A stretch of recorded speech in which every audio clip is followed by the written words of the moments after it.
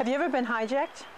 Maybe not of the airplane kind, but probably in the brain kind. I think most of us know that feeling of people or situations that just push our buttons. We, they say something or we observe something and we can just feel the anger rising inside of us. And sometimes in the heat of the moment, we might say something that we wish we hadn't said.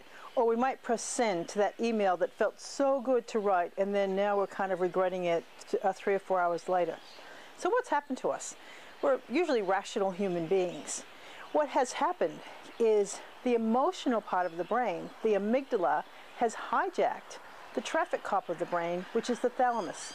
Usually when we take in information, we take it in and the thalamus, which is like the traffic cop, will send it to the cortex, which is the logical part of the brain, and then the cortex will decide, you know, how, how you should respond, what emotions you should apply to it, and that's usually what happens in our normal everyday conversations. If there's something that just causes that reaction in you, the amygdala can hijack that process. And so immediately that, that situation or the emotion is put, taken to the amygdala, which is the emotional part of the brain, but it's the, it's the emotions without any logic. And so there are chemicals and hormones that go to the amygdala, which is what causes the, those really strong reactions that we then later regret sometimes if we've taken action on them. So what can we do? There are things that we can do, and there's been a lot of research that proves that this is very effective. Find a pause button. Research has proven that when the amygdala is hijacking the other parts of the brain that have a little bit more sense, that if you start to think of something logical, which is where counting to 10 came from, if you count to 10, you're actually moving your brain focus to the more logical, you know, computing part of it, which is taking the focus off of the amygdala. So think about, you know, count to 10 or just think about something that you're looking forward to or someone something that you enjoy doing. So well, you're just breaking that circuit of the, you know, that direct kind of pattern of the emotion, the brain, the reaction.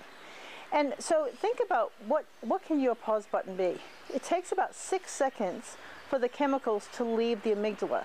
So if you keep doing whatever your pause button is for at least six seconds, you'll find that, yeah, the situation may still be bad, it may still cause you anger, but you find that your response to that can be a lot more logical.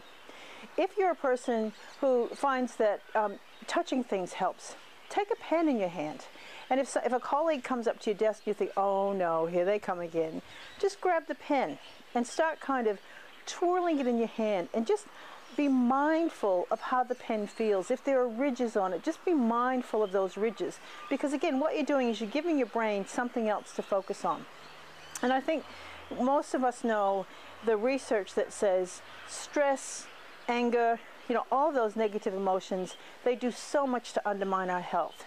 So think about what your pause button is, and when you start, find yourself reacting to a certain person or a certain situation, you know, say to yourself, you know what? They aren't worth spending my health on. I'm actually going to use my pause button and then go back into the situation a lot more rationally. There may still be things you have to work out. There may still be uh, you, there may still be residual um, anger or displeasure, but it won't be that real emotion-fueled, illogical um, response that you would have had before. So think about it, use your pause button, and really start off the year as a, with some healthy patterns.